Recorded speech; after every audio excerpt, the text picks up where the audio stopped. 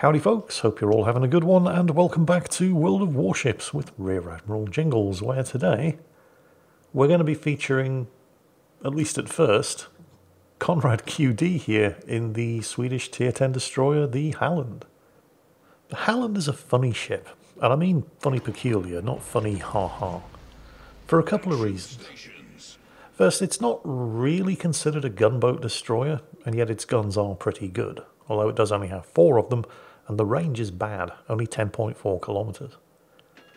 The lack of gun range can, however, sometimes work to your advantage, because if you are forced into a gunfight with a ship that's within 10.4 kilometers and you kill it, if there are no other ships within 10.4 kilometers, you immediately go undetected, which is useful because the Halland does not have a smokescreen. The gun turrets have a very fast traverse, unlike previous destroyers in this line, and the guns have a very, very good rate of fire which means that the Halland's damage per minute is actually pretty good. And yet she's still not really a gunboat, because while she can dish the damage out, she can't really take it. The Halland's health pool is on the mediocre side, although this is offset by the fact that she does have access to a heal. So you don't really want to be putting the Halland into a gunfight unless you know you have the advantage. And if you find yourself in a gunfight without the advantage, the high damage per minute means that the Halland will be able to dish out a lot of hurt, but you're probably going to lose a lot of health in the process as well. So if it's not really a gunboat, does that make it a torpedo destroyer? Well, kind of yes, but also kind of no. Because while the Halland does have incredibly fast torpedoes with a very, very short reload, the individual alpha damage is kind of bad. They only do 10,700 damage maximum, which doesn't sound too bad until you compare them against other torpedoes launched by Tier 10 destroyers, like for example the Japanese Shimakaze that has access to three different types of torpedoes, the worst of which do twice as much damage as the Halland's torpedoes, and they fire more of them. Then you have other peculiarities associated with the Halland, aside from the fact that it doesn't have a smokescreen, although it does have the heal to compensate. But the guns, while the DPM is good, the rear turret obviously cannot fire straight ahead, but neither can the front turret because those Hedgehog anti-submarine launchers are in the way and block the line of fire directly ahead. But we'll talk about that more when we come to cover the anti-submarine warfare capabilities of the Halland because there are two submarines on each team in this battle and while on paper the Halland's anti-submarine warfare capabilities should be pretty fearsome, in reality they're actually kinda shit. For now, however, things are about to get interesting. He's attempting to flip Cap Circle Alpha, and he is sharing this Cap Circle with another destroyer. And it's the Shimakaze right there. Here is where things take a turn for the bizarre. He needs to sink the Shimakaze as quickly as humanly possible to avoid getting shot up by the Shimakaze's teammates, and he manages to torpedo him and the Shimakaze manages to miss at a range of less than 2 kilometers with all 15 of its torpedoes. However, it was that first gunshot that he took against the Shimakaze that's going to screw him here because that means his detection range bloomed to the maximum range of his guns, in this case 10.5 kilometers, which means that the Smolensk continued to see him and basically ripped him a new arsehole. So, he's got the first blood award, he's taken care of the Shimakaze, that's obviously an important kill. But despite the fact that he has a heal, it's cost him three quarters of his health. So from here on in, he is definitely not a gunboat, and he's going to be relying on his torpedoes. Fortunately, the pretty bad alpha damage notwithstanding, the torpedoes are pretty good. She can put 10 of them in the water at the same time. They have an insanely fast speed of 86 knots, and that's the base speed before you take into account any captain skills that make them go even faster. The base reload is only 100 seconds, and again, that's without taking into consideration any captain skills that improve the reload, and they have a range of 15 kilometers, so the torpedoes are very, very good. They just don't do a huge amount of damage.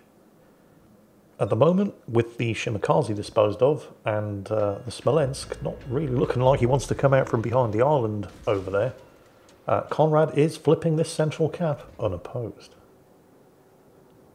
Let's talk about those anti-submarine warfare capabilities. Because each team does have two submarines in play, and unless I'm extremely mistaken, those are submarine launched torpedoes cutting through this cap circle right now, and yes, I can see sonar pings as well. So Conrad's firing the Hedgehog launcher here. And unless I'm very much mistaken, the Halland is the only ship in the game that actually has a forward-firing Hedgehog launcher. And despite the fact that you can see depth charges going off, which means that the the Hedgehog here in World of Warships is not actually a Hedgehog launcher, it's just a forward-firing depth charge launcher because depth charges explode when they reach a certain depth. That's why they're called depth charges. The bombs fired by the Hedgehog didn't explode unless they actually hit something, but they had a vastly better chance of hitting something than any depth charge pattern. It's one of the reasons why despite the fact that they had a potentially war-winning, or at least Battle of the Atlantic winning weapon available as early as late 1942, early 1943, the crews didn't really trust them because you could see the depth charges going off. Even though 98% of the time the depth charges weren't actually going to hit anything, you could see the depth charges going off. You knew that you were doing something. When you launched the hedgehogs, nothing would happen until they actually hit something which didn't inspire the same level of confidence in the destroyer and corvette escort crews. I'm actually reading a book at the moment by my friend Dave Lister. It's called Defeating the Panzerstuka Menace, which is what the Blitzkrieg was referred to until the word Blitzkrieg entered common usage. Um, and the development of spigot weapons like the Hedgehog launcher. I'll put a link in the video description. It's available on Amazon. It's a very good book. But there are numerous problems with the Halland's Hedgehog launcher because, well, one, it's not actually a Hedgehog launcher because it's clearly firing depth charges. And two, it blocks the line of fire of the forward gun turret because when you are attacking a submarine, you catch a submarine on the surface, you charge it down, you fire at it with your guns, which you can't do in the Halland if a submarine's in front of you because the anti-submarine warfare weapons are in the way. So you can't attack the submarine with your guns without turning away from it. And if you turn away from it, you're not going to hit it with the anti-submarine weapons. Oh, he's managed to get the one torpedo hit. Oh, and it has caused a flood. Although, yeah, the kill was taken by somebody else. But that doesn't matter. The important thing is, they've equalised the kills. Two kills per team. Although they are still behind on points because the enemy team have the other two cap circles. This one over here is the only one that the team have taken. And, well, that was basically done by Conrad. While he's lining up for a torpedo attack on the Yamato over there, let's just talk a little bit more about these anti-submarine weapons. Because while depth charges were very effective at driving submarines away, they were comically ineffective at actually killing submarines. Some estimates actually put the chance of scoring a hit on a submarine with a depth charge as low as 2%. Of course, the advantage of depth charges were that you didn't actually need to score a direct hit. If you dropped a pattern of depth charges and they exploded above a submarine, the pressure waves and the shock waves could actually force the submarine down to below crush depth as well as weakening the hull. And that would be enough, in some cases, to score a kill. Likewise, if the depth charges exploded below the submarine, the pressure waves would force the submarine to the surface, where it was basically defenseless and you could finish it off with your guns. However, along with the shocking inaccuracy, the biggest downside of using depth charges were that you would lose contact with the submarine when you were conducting a depth charge attack.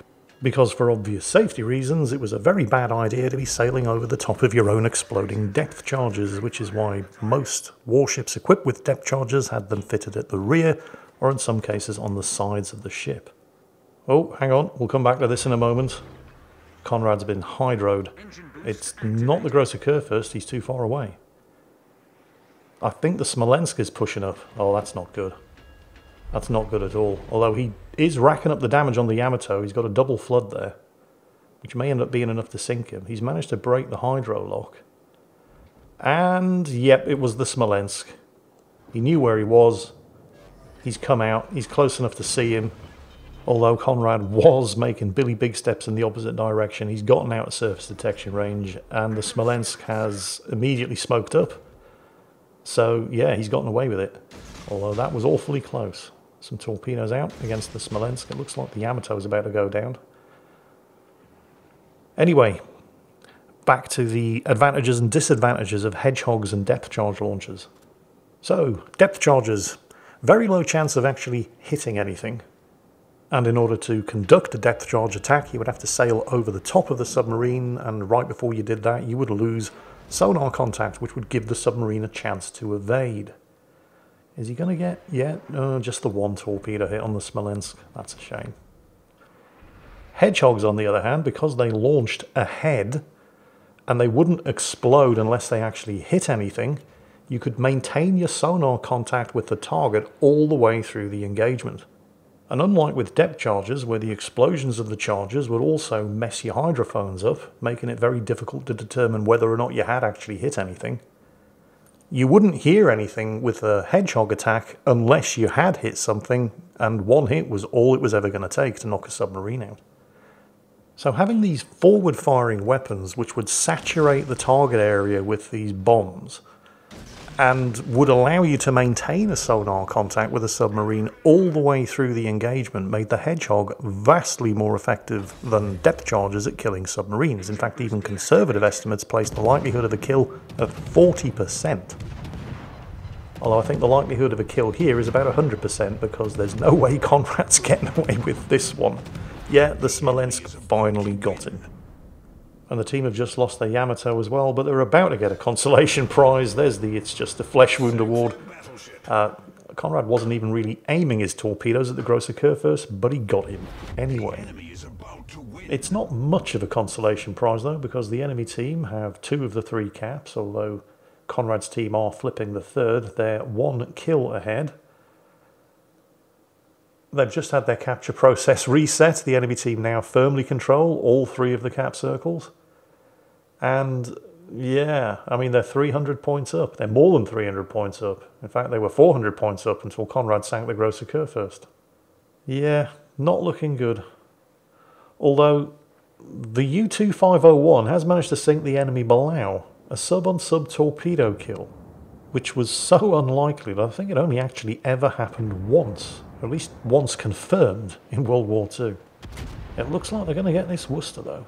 Oh, and the other U-2501 managed to nail the enemy Hindenburg. This Worcester is definitely going down. He doesn't know whether he wants to go forward and get in cover behind the island or back up and continue to get shot at. He eventually decided to move forward, but he wasted far too much time at that point, so he's dead too. So, I mean, I know World of Warships isn't a simulator, it's an arcade game with historical pretensions, but submarines killing submarines? Hedgehog launchers being as ineffective as depth charges?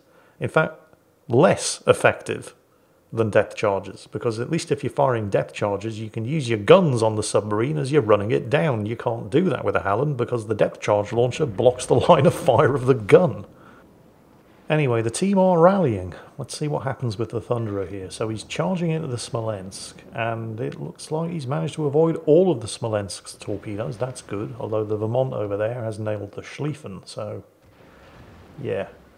I mean, the enemy team is still a good 400 points ahead. Unfortunately, while the Thunderer did manage to turn in order to avoid the Smolensk's torpedoes, and he has a beautiful firing angle on the Vermont over there. Did you see the sonar ping? Yeah. His turning out like that has made him a sitting duck for all of those. And he sees them just a fraction of a second too late. Although honestly, I don't think he was ever going to be able to avoid them. The shots in the air from the Salem do take the Vermont out, but the shots in the air from the Vermont take out the Thunderer. Although, to be fair, if that hadn't happened, the torpedoes from the other side of the Smolensk, who turned around in the smokescreen to get them away, would have finished in two. Now, the enemy team are nearly 400 points ahead, but there's six and a half minutes of this battle left, and they are down a kill. They no longer completely control two of the three caps. So, this isn't really a case of the enemy team trying to win harder. They do actually need more kills to guarantee the win. The Minotaur uses his radar and he does catch the U-2501 on the surface, but he obviously instantly crash dives. Although he has very, very limited battery power left, so he's going to be forced to surface soon. The Montana tries to pick him off with his airstrike depth charges. And it's here where we have, well, you'd think that the Montana was an easy target for the Halland, and he is. Except the Halland somehow manages to screw it up. by repeatedly running himself aground in his haste to get the correct torpedo firing angle. So the Montana's got him if he just continues turning to the right. So of course the Montana starts turning to the left in order to ensure that he eats every single one of the Halland's torpedoes.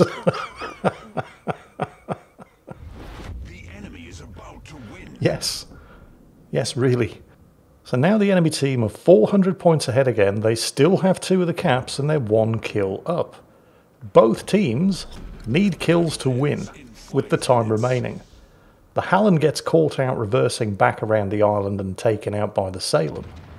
The Minotaur over there has dodged all of the U-2501's torpedoes. He's caught him at periscope depth and he's pouring hell into him with his 6-inch guns and finishes him off.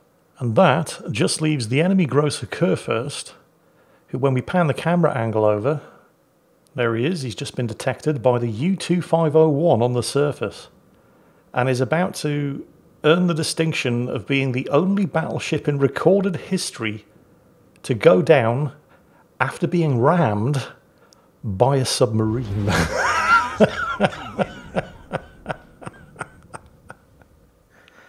yeah, I know technically he died to the fire set by the torpedoes fired by the submarine, but my version sounds cooler. So, yeah, I mean, I don't know what that battle was, but it was something. So yeah, this is the point where I'm I'm just going to leave it up to all of you to figure out what the hell it was that you just watched. Bid you all a good day. Hope you enjoyed it. And as always, take care, stay safe, and I'll catch you next time.